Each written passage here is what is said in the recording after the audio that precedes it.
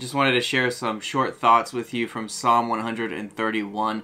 One of the things that I've noticed about myself and just talking with people and praying with people is that there's kind of this general feeling of just being overwhelmed, overwhelmed by kind of like everything that's going on and everything that we're feeling in response to that.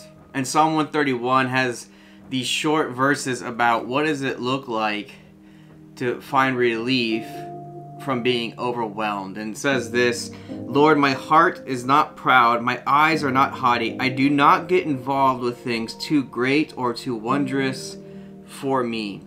And it got me thinking that, you know, part of the reason myself and others can get overwhelmed is because we think a little bit too much about what's going to happen next.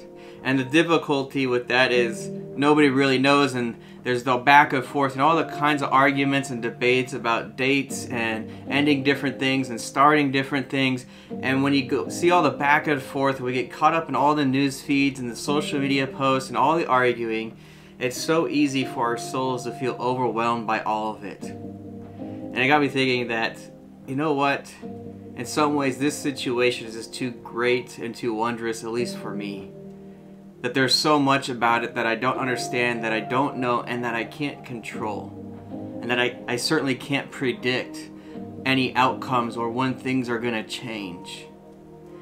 And so David reminds us here that, Lord, I'm not going to get involved in things that are beyond me. Meaning he's going to hand over that control. Not that we ever really had it in the first place, but that's kind of what it feels like. We're going to hand control over to you, God, and say, You're the one that can handle everything. You're the one that can handle anything. And, and there's just things that are beyond me.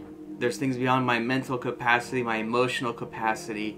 And especially right now, there's so many things that can make me feel overwhelmed that God, the only way I'm going to get through it is that I lean on you and trust that nothing's too great or wondrous for you. In fact, David says this next verse. He says, Instead, so instead of getting involved with the things that are too great or too wondrous, too beyond our control. He says, Instead, I have calmed and quieted my soul like a weaned child with its mother. My soul is like a weaned child. He's simply saying, My soul, instead of getting caught up in everything that I can't control, instead of getting overwhelmed with all the things that are beyond my understanding or beyond my power, my influence, I'm going to act like a small child with its mother that when I'm scared and overwhelmed as a small child, you, go to your mom or your dad for that comfort and that sense of security and safety. And, and there's just this overwhelming feeling of everything's to be okay.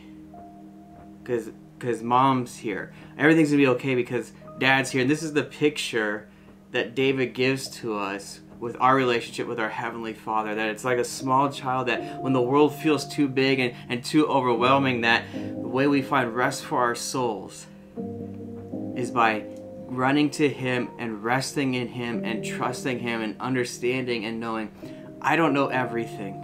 I don't control everything. I don't understand all the situations and all the arguments and all the debates and the back and forth.